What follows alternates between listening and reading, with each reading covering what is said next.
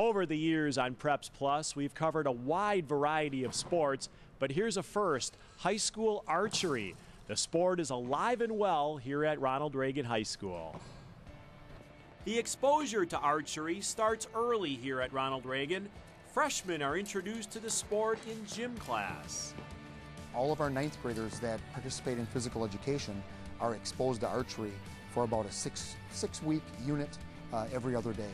And uh, from that, we introduced and we uh, um, organized a archery club.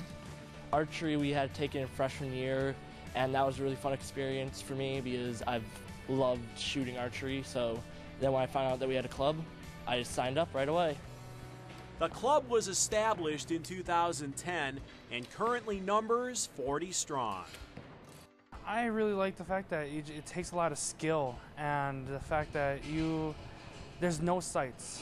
You're, you're not allowed to use sights when we're in school, and um, the fact that we're only 10 meters away, but 10 meters is a long way when you have no sights and you're just judging. I just love mathematics, and archery involves a lot of mathematics in order to aim the bow down and aim at the target so on the arc curves perfectly.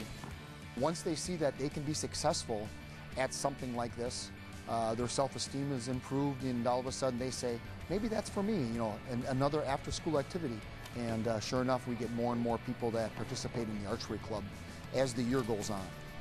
There is an element of danger involved with arrows flying across the gym. Safety is the number one priority. There are whistle commands. Uh, the students have to wait until they're instructed to do things. They can't retrieve their arrows until they've been instructed to do it. So there's a series of whistle blows that kind of indicate what each step throughout the shooting process is. The Huskies compete in the MPS Archery Tournament each spring, and they are well known as the team to beat. All involved expect the club to continue to grow in popularity. The parents are very excited about it. Just another activity their son or daughter can get involved in. All the bows are able to be pulled back by everyone. I think everyone has a lot of fun shooting. I mean, who doesn't? It's not offered at many other schools, and um, I mean, it's a great little program. And the fact that we have it after school is if you like it, you get to come back for more.